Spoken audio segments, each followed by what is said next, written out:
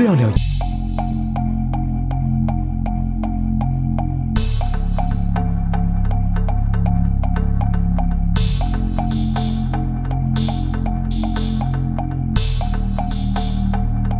半年吧，两年吧，应该算。你觉得这个呃职业最吸引你的地方在哪里？最吸引我的地方，其实更多的是自己有一份爱心。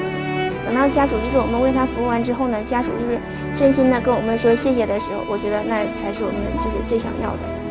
像做好事一样，就是能帮别人，就是为他就送走他最后一程，我觉得也算挺高尚的一个行业吧。我觉得我打算一直走下去。看完这段短片的时候，我看到亮亮哭了。你可以跟大家分享一下你看这段短片时候的感觉吗？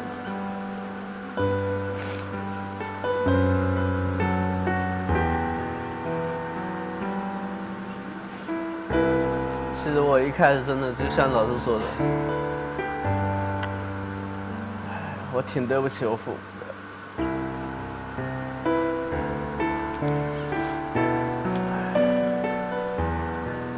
也算一个真的是一个不合格的，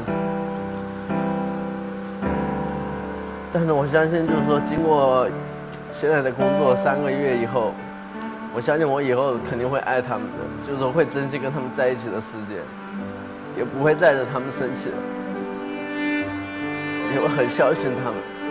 其实我觉得，我刚才一直在说亮亮在和父母的沟通方面表现的不够成熟。我相信亮亮刚才说的那些话是发自肺腑的。今天儿子的所有这些转变，恰恰是他不到三个月的入殓师的行业带给他。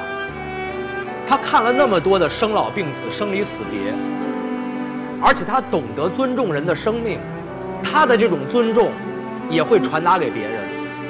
儿子应该去做的是，首先，他可以作为一个成年人，用自己最大的能力去回馈社会，去通过自己的工作给别人带来幸福和尊严。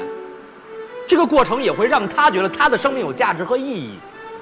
为人父母把儿子生下来，把他养到这么大，不就是希望他的生命有意义吗？真的，大哥大姐，我想你们好好想一想这个过程。我从这个故事看到什么了呢？就看到了其实是两代人之间因为这种知识结构和层面的距离而产生的沟沟通的一个障碍。